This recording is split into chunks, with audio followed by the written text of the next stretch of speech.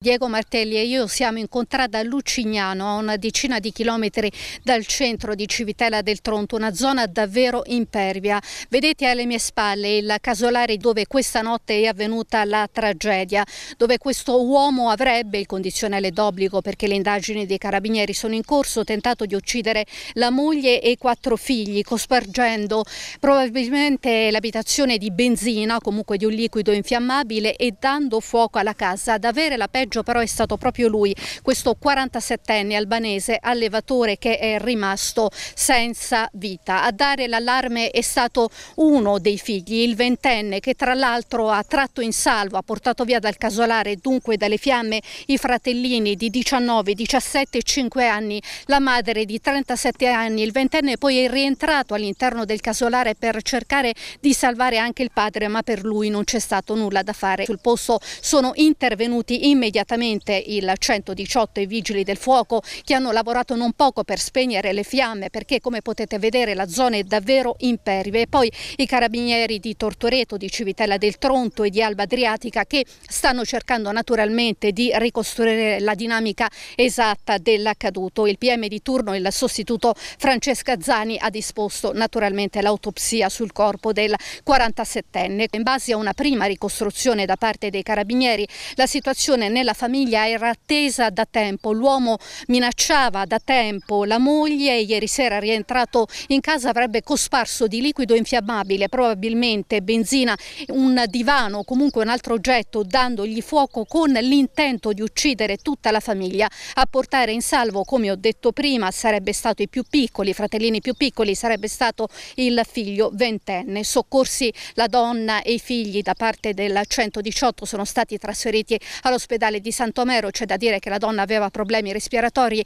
i figli stanno bene, mentre per l'uomo non c'è stato nulla da fare. Ora si attende l'autopsia sul corpo di questo eh, cittadino albanese di 47 anni allevatore. Cosa dire? Abbiamo intervistato e tra breve ascolteremo l'intervista il sindaco di Civitella del Tronto, Cristina Di Pietro, che ci ha detto io non conoscevo personalmente la famiglia, ma abitava qui da vent'anni, a quanto pare si era perfettamente integrata, non si avevano notizie di dissapori, gli assistenti sociali sociali non erano mai intervenuti, i figli sono dei bravissimi ragazzi che si sono integrati perfettamente con la comunità degli altri loro coetanei, insomma anche eh, c'è stata incredulità, c'è stata incredulità e c'è stato sgomento da parte del sindaco che con gli altri amministratori hanno dovuto lavorare non poco, sono intervenuti anche loro, il resto della famiglia è, stata, è stato portato in una casa protetta. Sindaco, questa tragedia familiare che ha sconvolto tutta la comunità. Sì, purtroppo questa notte c'è stata questa tragedia che ha sconvolto la comunità e ha sconvolto un'intera famiglia. Eh, intorno a luna di notte eh, è stato acceso un signore di circa 47 anni, ha acceso un fuoco nelle abitazioni, probabilmente con l'intento di appunto dare fuoco alle abitazioni, eh, si è sviluppato un rogo, sono prontamente intervenuti i vigili del fuoco di Teramo, i carabinieri e Purtroppo l'uomo è deceduto, mentre i familiari, la famiglia era composta da una moglie e quattro figli, sono, si sono messi al riparo, sono stati portati poi per i controlli e gli accertamenti all'ospedale, ma già sono stati dimessi. Le cronache parlano della volontà, ma questo è tutto da appurare, stanno indagando per questo i carabinieri dell'uomo, a quanto pare di, eh, dire, di fare del male ai propri familiari. Sì, dalle prime ricostruzioni emergerebbe appunto questa, questa, dinamica, però è una situazione molto delicata, quindi credo che le indagini vadano condotte in maniera approfondita, ci sarà l'autopsia dell'uomo che verificherà le cause del, del decesso e quindi poi alla fine gli investigatori faranno, ricostruiranno quello che è accaduto. Che tipo di famiglia era? La conoscevate? Guardi, io personalmente non, non, la conoscevo prima di questo fatto, eh, ovviamente mi sono informata, è una famiglia che, eh, di origine albanese che mm, risiede qui da circa vent'anni, sulla quale non si erano mai registrati problematiche di ordine mm, economico, sociale, non erano state seguite dei servizi sociali e quindi diciamo una famiglia come tante altre. L'uomo lavorava? L'uomo aveva, allevava degli animali, aveva un allevamento di animali e poi che io sappia faceva il muratore, però anche queste sono notizie che stiamo valutando in queste ore perché non, mm, non le sappiamo. Sempre dalle prime indiscrezioni pare ci siano stati dei dissapori, però c'erano dei dissapori tra l'uomo e il resto della famiglia, questo vi risulta? Guardi, questo ci risulta da questa mattina, da quando abbiamo assunto appunto informazioni, ma eh, non so poi l'entità di questi dissapori, se erano dissapori appunto di una famiglia normale oppure più importanti. Da questo punto di vista però mi pare strano che appunto i servizi sociali non siano, ci sono quattro ragazzi, tutti quanti dicono che questi quattro ragazzi sono splendidi ragazzi, ragazzi che si sono distinti a scuola, sono brave persone, quindi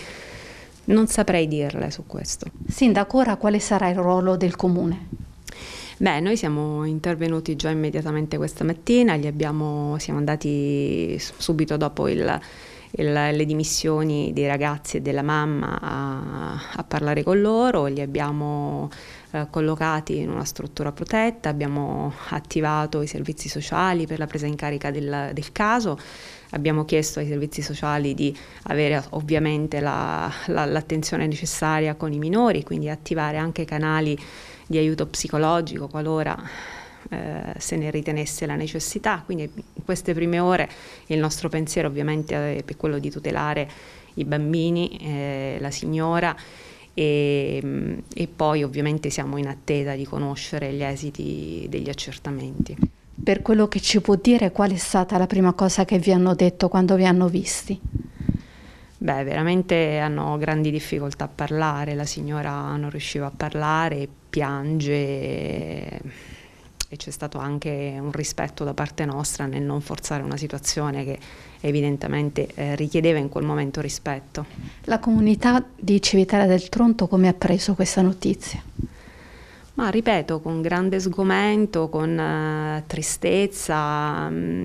perché i quattro ragazzi, ma anche loro, i signori, insomma, si erano integrati bene nella comunità, eh, i ragazzi sono andati a scuola nelle nostre scuole, quindi hanno amici eh, qui in loco, mm, brave persone, bravi ragazzi, quindi con tristezza.